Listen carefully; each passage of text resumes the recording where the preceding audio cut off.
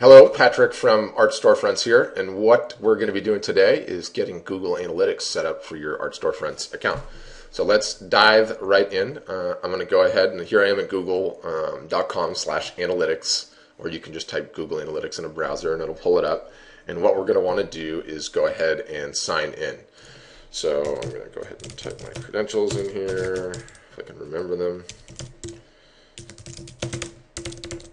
Now, this is assuming that you already have um, a Google account. If for some reason you don't, you need to set one of those up. We've detailed it in a blog post. Go ahead and click the link that you see right there at the bottom of the YouTube video, and we can show you how to do that. But we're assuming you already have one. So sign into yours. Um, you'll get to this page, and we're going to go ahead and click Sign Up. So we've got to name our account. Um, in my case, I've got this tied to a, a, a, site that I've got launched, a demo site that I've got launched on Art Storefront. So I'm just going to call it Taylor's account, because Taylor was the one that set it up. So that's the account name, and then for the website name, I'm going to call it Taylor's ASF Art Storefronts, uh, and and you can you can name it as you see fit.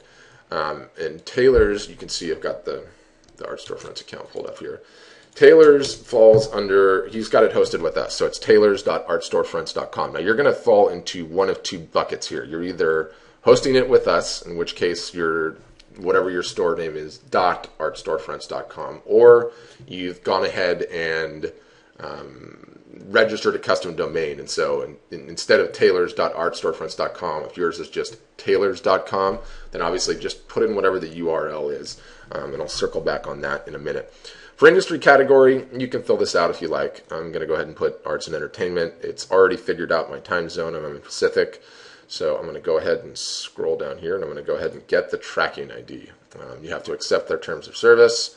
I'm going to go ahead and accept because no one ever reads those things ever anyway. And here we go. It's giving me a tracking ID, this UA number, which is like Google's unique identifier. I'm going to go ahead and grab this and copy this now because we're going to need it in a second, but don't worry about it if you haven't already. So what I want you to check out next is the tracking info here, and specifically the referral exclusion list. So I'm going to go ahead and give that a click. You can see that it's already added artstorefronts.com is a domain name on there um, which is just a necessary setting that we need actually for the way that Google Analytics operates with Art Storefronts. If you're in that second situation that we talked about earlier, meaning you've bought a custom domain instead of you know taylors.artstorefronts.com, yours is actually taylors.com or whatever your your your store may be we're going to have to add a referral exclusion for that. So what you do is you click add referral exclusion and you just type in the domain. So in your cases, if you've got a custom domain, and let's just say mine was taylors.com, I'm just going to go ahead and create that. What did I do wrong? It doesn't like the HTTP, so let's just do www. There you go. So just www.taylors.com, or you can even you can even do without the www. I don't think it makes a difference one way or the other, but taylors.com. Great. So just make sure you add in your custom URL if you've selected a custom URL. If not, Art Storefronts will already be in there.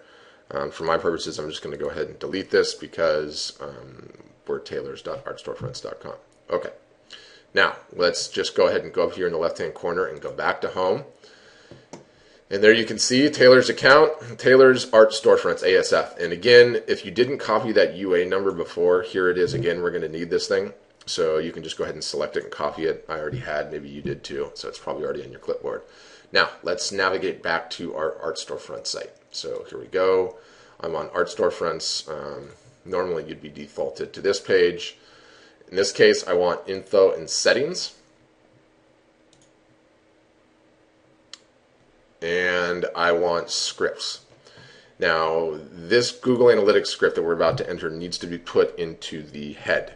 And so what I usually do is I'm going to paste that unique UA number in there, right?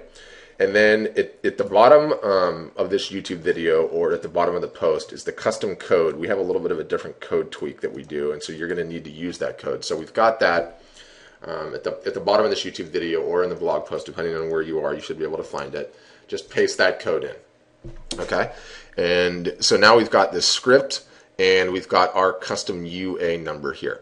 And so if you scroll down, you can see that the UA number is in here because it's got a bunch of X's. And so what we need to do is we need to switch this code with our code. So in this case, I'm going to go back up, copy the code that I've already pasted in there, and then I'm going to go ahead and paste this in there, and then delete this, come up here, and all I got to do at that point is just click save, and we're good to go. Save your website has been updated and that's it. You've now got google analytics running on your site and it's going to be tracking things. And in future videos and blog posts we're going to delve into some of the more advanced techniques you can do now that you have this incredible data. Okay